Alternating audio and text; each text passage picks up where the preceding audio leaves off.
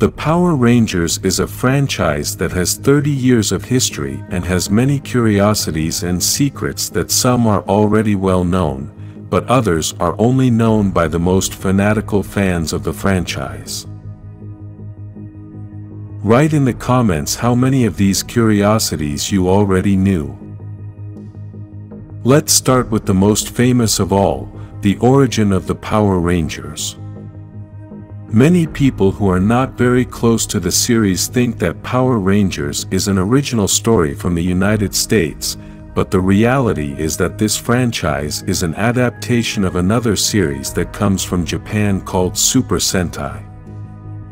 Another thing is that the series was not adapted from the beginning of Super Sentai, but in the season number 16 was when they began the adaptation for the United States. Despite being an adaptation, it really has many changes since in America only the action scenes are used when the Rangers have their suits on, but the whole story has to change in order to create a story that is more adequate for the American culture. One of the interiorities that is only talked about among fans is about the actors and what one of them suffered inside the film set. The actor David Yost, who played the Blue Ranger Billy, suffered harassment because he is gay.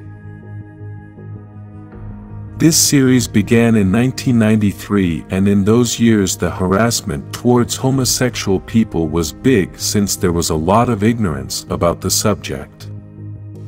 Because of this, this actor was out of the franchise for many years, but now he is back for the 30th anniversary.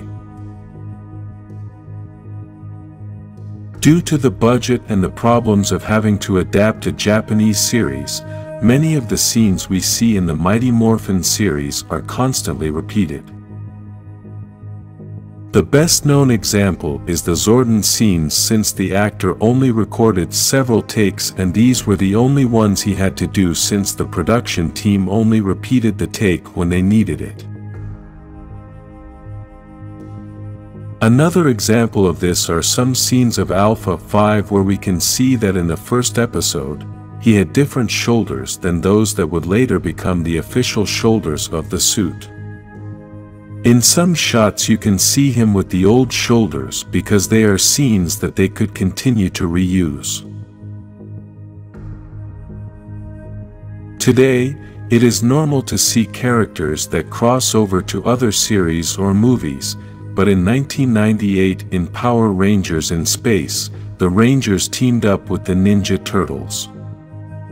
This is something that was so well liked that there are even several comics with these crossovers, as well as a line of Ranger Turtles toys.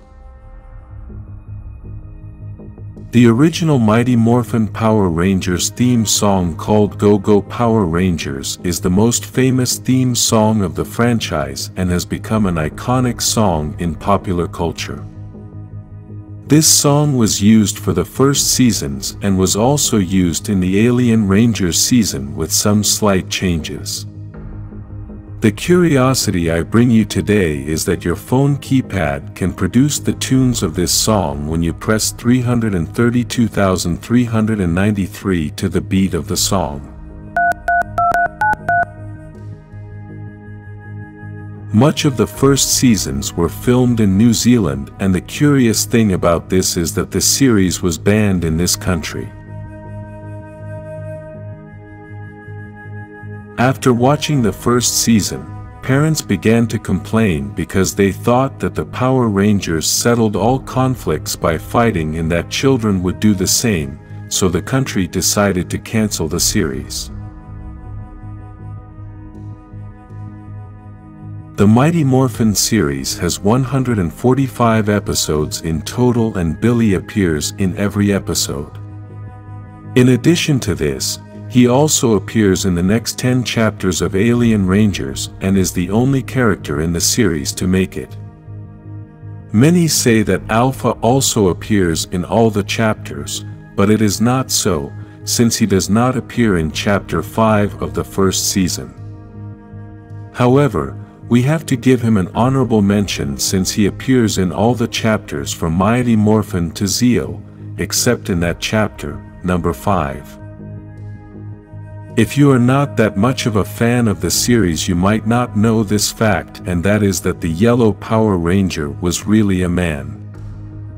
To explain this, you must have understood the beginning of this video since I said that Power Rangers is an adaptation of a Japanese series, and the American version used the action parts where the Rangers had the suits. In the Japanese series the Yellow Ranger was a man, but in the American version she was a woman. This is why in the American version when the Yellow Ranger has her costume on, she has a bigger body like a man. We all know that Megazords are the combination of several Zords to form a giant warrior Zord and normally only 5 or 6 Zords are used to form this Megazord. In the Power Rangers RPM series, they wanted to go a little further and have a Megazord called the RPM Ultrazord that uses 12 Zords to make the combination. After 30 years of history Tommy Oliver still holds several records that no one has been able to beat. He has been the Ranger with the most appearances with a total of 200 episodes, besides appearing in 8 different series. He is also the Ranger who has made more color changes since he has been the Green, White, Red and Black Ranger. Another record is that he has been the only Red Ranger in two different teams. The budget in Power Rangers sometimes caused problems and curiosities. One of these cases are the costumes of Power Rangers SPD-A Squad. If we look at the helmets of this team of evil rangers, we will be able to see that it is the same as the Power Rangers in Space Team. They just put the SPD logo on the helmet. The Power Rangers series was adapted from Super Sentai, but what inspired Super Sentai? Before the Japanese series there was a Spider-Man series in Japan as Marvel had made an alliance with Toei and this allowed them to use the Spider-Man character and make any changes they wanted. In this series Spider-Man had a flying car that was attached to a giant robot with which he could fight giant monsters. If you like Power Rangers, like this video and subscribe to this channel for more Power Rangers curiosities.